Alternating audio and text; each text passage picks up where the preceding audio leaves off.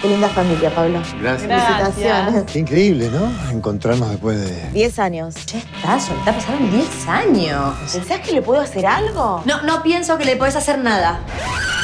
Milanesa de pollo con ensalada rusa para Pablo. No para de vomitar. Lindo que sos, José. ¿Qué pasa? Constancia, tu hermana pasa. José no está en el playroom. Quiero que la moraleja de esta historia sea que el que las hace las paga. Decime dónde está José, por favor. Que si vos lastimás a alguien, podés terminar llorando. Otros pecados. Este miércoles 22.45 por el 13.